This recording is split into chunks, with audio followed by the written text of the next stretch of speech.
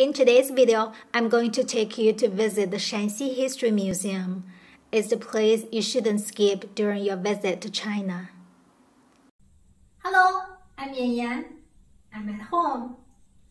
Earlier this year, I went to Shaanxi History Museum while I was in Xi'an, but it's not allowed to take a mask in the museum because it's a indoor public space. So I'll talk to you guys from home. If you plan to visit Xi'an, of course, the first thing on your list is the Terracotta Warriors Museum. The second thing I would highly recommend you to visit is the Shaanxi History Museum. It's a place where you can look into China's past. In today's video, I'll show you many fun relics from the museum. In addition, I'll briefly walk you through the 2,000 years of history when Xi'an and Luoyang were rotating to be the capital of China. I have a video about the Luoyang Museum. I'll put the link in the description box. Since I can't cover everything from Shaanxi History Museum, in today's video, I'll only cover the types of relics I didn't cover in the Luoyang Museum. Part 1 The Zhou Dynasty Highlight A rigorous ritual system related to hierarchy. The exhibition starts from prehistoric times, but I'll just start from the Zhou Dynasty. The early Zhou capital was in Qiyi in the west of the Guanzhong Plain. In the 11th century BC, King Wen of Zhou moved the Zhou capital eastward here, about 25 kilometers southwest from present-day Xi'an. Decades later, the Duke of Zhou built a second settlement at Luoyi, present-day Luoyang, in order to reinforce control of the eastern part of the kingdom. The majority relics from the Zhou dynasty are ritual bronzes, which I've covered in the Luoyang Museum. Some of the bronze vessels in the Shaanxi Museum are very unique in shape, such as this dragon-like one and this ox. The characters on the vessels are important records of history. These are Ding and Gui. In the Zhou dynasty, a ritual system named the Li was established. It's a very complicated system, mainly about the manners as an expression of the social hierarchy and ethics. In terms of Ding and Gui, there were different combinations for people from different social hierarchy. The king is entitled with nine dings and eight guis, dukes seven dings and six guis, so on and so forth. Archaeologists could judge the rank of the honor of the tomb by the number of dings and guis found in the tomb. Part 2 State Qin Highlight the determination to reform. When the Zhou dynasty was established, the conquered land was given to Zhou relatives and ministers as hereditary fiefs that eventually became powerful in their own right. State Qin was one of them, located in the westernmost of the country. In the 8th century BC, the Zhou capital was razed by the nomads. All the royal buildings in the settlement were burnt to the ground. The newly enthroned king had no choice but to move the capital east to Luoyang. The event marked the end of the Western Zhou dynasty. Historians name the second phase of the Zhou dynasty Eastern Zhou. After the king of Zhou moved to Luoyang, State Qin gradually moved from present-day Gansu province eastward and occupied the Guanzhong plain. In early times, its capital was in the west of the Guanzhong Plain, not far away from the early capital of the Zhou dynasty. This stone found near the early capital of State Qin was inscribed with hunting events of the king. The characters on it were among the earliest Chinese characters. According to history book, there were 10 stones like this, but now only one remains. The Eastern Zhou was characterized by an accelerating collapse of royal authority and conquering of small states by big states. In the second phase of the Eastern Zhou dynasty, which was named the Warring State periods, seven major states, including State Qin, left. In the 4th century BC, the state Qin shifted capital to Yueyang near the present day Xi'an. The reason to shift capital was because the king of State Qin wanted to reform, but he encountered strong resistance from aristocrats in old capital. So he moved capital to a new place where he implemented his reforms. Soon, people realized that they would have better lives, such as paying less tax in the new capital. So more and more people moved to the new capital, and the aristocrats in the old capital lost power. Many years later, after the crown prince succeeded his father as the new king, he implemented a series of more thorough reforms, after which State Qin rose to be a powerful state. After reforms, the army of State Qin became very powerful. Now this army is even world famous because of terracotta warriors. In this part of the exhibition, you can focus on the weapons of State Qin, which was the first class among the peers. This is a crossbow, a weapon similar to bow but with an elastic launching device. This is a fu. In ancient China, a fu was a tally and was used by a king to command and dispatch the army. This fu is in the shape of a tiger. The tiger fu consists of two pieces like this. The characters on the fu are the description of how to use it. The right piece was retained in the hands of the king, while the left piece was issued to the local commanders. If someone wanted to dispatch the troops from a certain area, he had to show the right piece of the tiger tally. Both pieces of the tally had to match each other. There is a notch on the other side of the fu. If the other piece clicks with this piece, then the authenticity of the other piece is proved. Part 3 The Qin Dynasty Highlight Unification of China. In 221 BC, Emperor Shi Huang conquered the other six states and unified China. State Qin became the Qin dynasty. There is a map in this hall that displays the territory of the Qin dynasty. Emperor Shi Huang abolished the decentralized system that Zhou dynasty adopted and established a centralized government. He divided the country into 36 commanderies. This is a weight that the Qin dynasty used to standardize the weight in the country. In the year that Emperor Shi Huang unified China, it was sent to the capital to be re-standardized and then sent back to the place where it was from. This is how the empire standardized the measurements across the country. There are different weights like this on display in the museum. According to history book, after Emperor Shi Huang unified China, he confiscated all weapons in the country and melted copper into a huge musical instrument. Some archaeologists believe these two gigantic whiting dragons could be the bottom of that musical instrument. It looks like there was a post connected to the dragon bottom through this big hole. Of course, there are terracotta warrior figures in display in this hall. If you are interested, I have a video filmed in the Terracotta Warriors Museum introducing the histories and stories behind these figures in detail. The link is in the description box.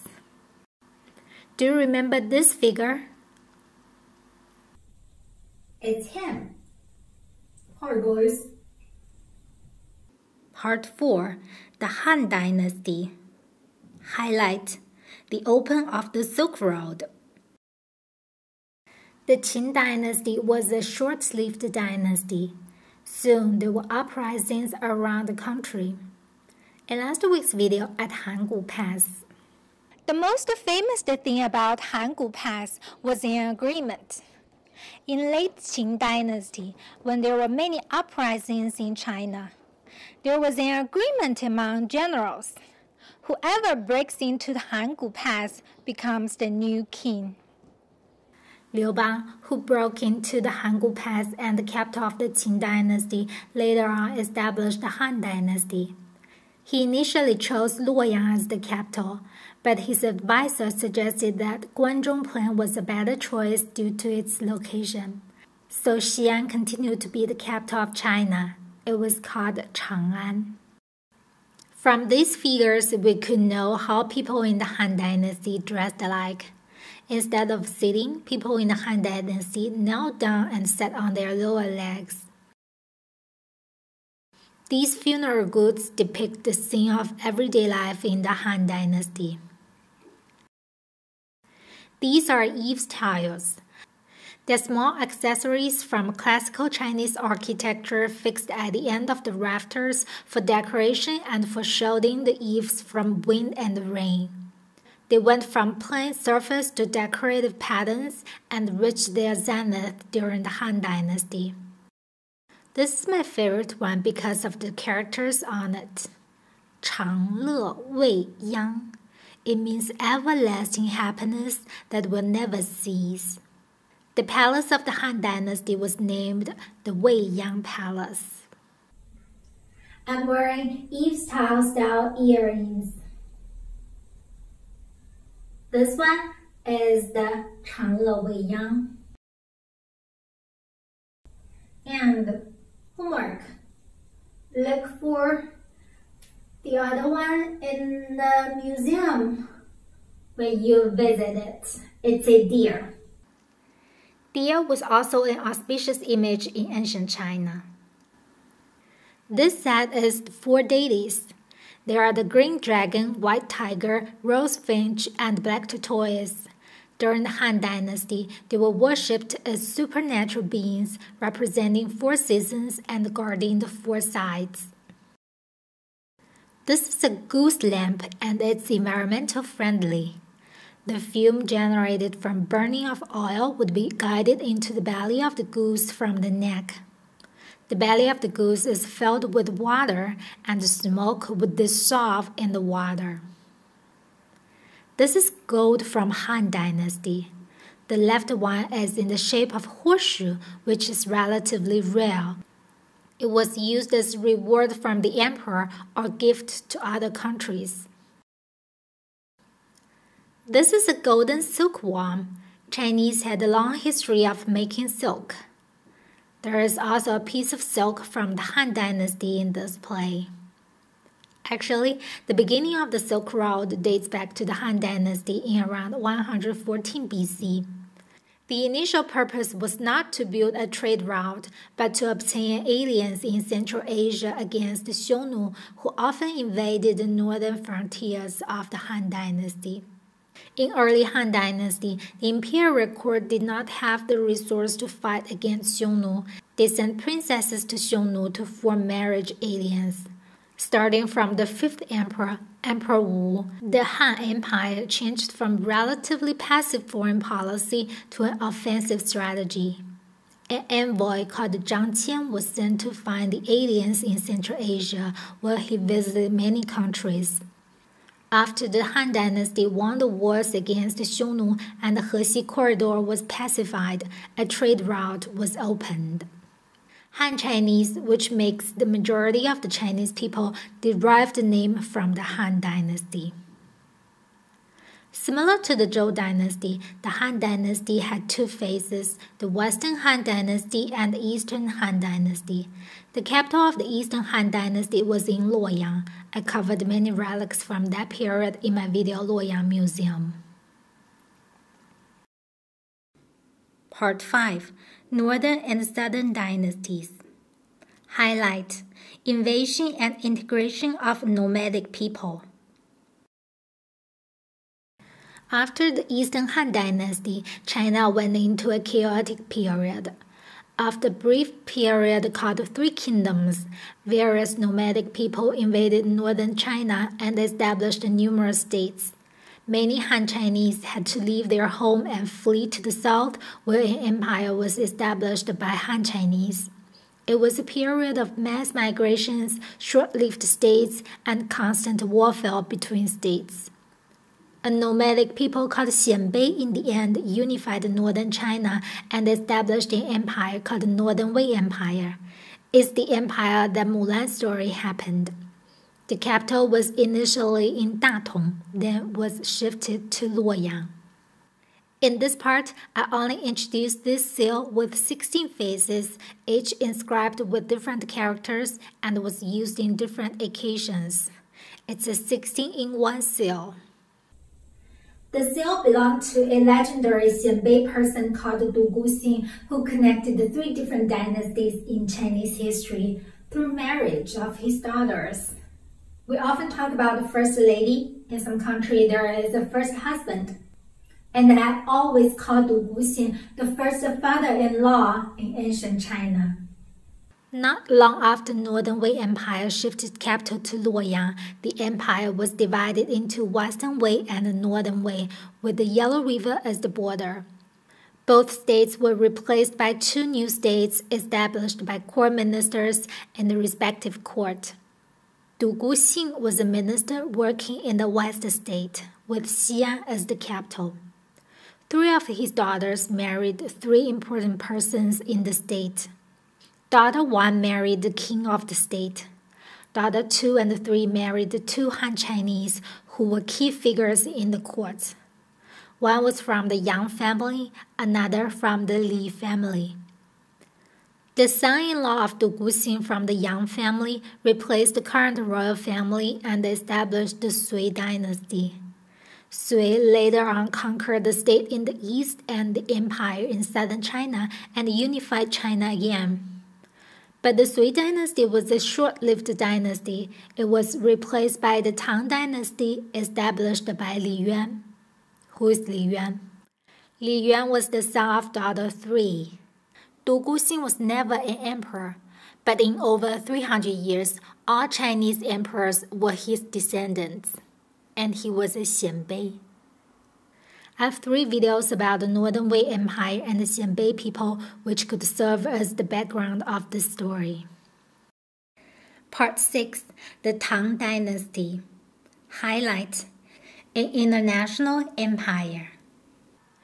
The biggest collection of the relic from the Tang Dynasty were funeral figures, especially the tricolor ceramic figures. If you think this women are too fat, then you don't understand aesthetics of the Tang Dynasty. These were their beauty queens. I really love these two dresses.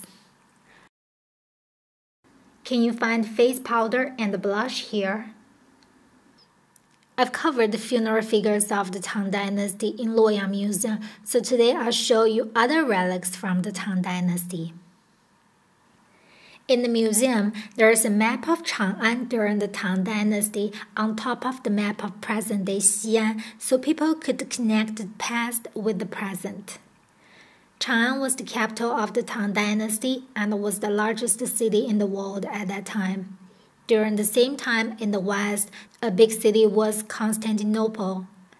Chang'an was about seven times the size of Constantinople, six times the size of Rome, and 1.5 times the size of Beijing during the Ming and Qin dynasty. The city was like a chessboard, with people from different walks of life living in different squares. There were also squares for foreigners to live. Foreigners brought foreign culture and products such as the agate and these glass vessels. This is a golden lotus bowl. Lotus was a symbol in Buddhism in ancient India. This is a silver sachet. In the Tang Dynasty, silver sachets were popular among royal ladies. They were used as a perfume. The outer globe is hollowed out with patterns of flower and birds. The patterns were inspired by elements from Central Asia. There is a half globe inside to hold perfumes it's connected with outer globe with silver rivets. No matter how the sachet is placed, the interior globe would always stay in horizontal position, so the perfumes inside would not be thrown out. After the Tang Dynasty, Beijing gradually came into the spotlight. It was occupied by nomadic people in the 10th century. Then it became the capital for nomadic conquesting empires the Khitan Empire, the Jurchen-led Jin Empire, and the Mongol-led Yuan Empire. In the 14th century, Beijing became the capital of Ming Empire, and then there was the Forbidden City, the Great Wall, and all other things you know about Beijing. So if you would like to know the Chinese history of the most recent 600 years, go visit Beijing. And if you are interested in the history more than a thousand years ago, visit Xi'an and visit Shaanxi History Museum in Xi'an. This video marks the end of my series in the Yellow River region. In next week's video, I'm going to the Yangtze River region and will worship an ancient poet whom the origin of the dragon boat races could be traced to. I'm Yan Yan. I upload a video every Saturday about sites of interest in China and histories and stories behind them. Subscribe to my channel. I'll see you next week in Yichang.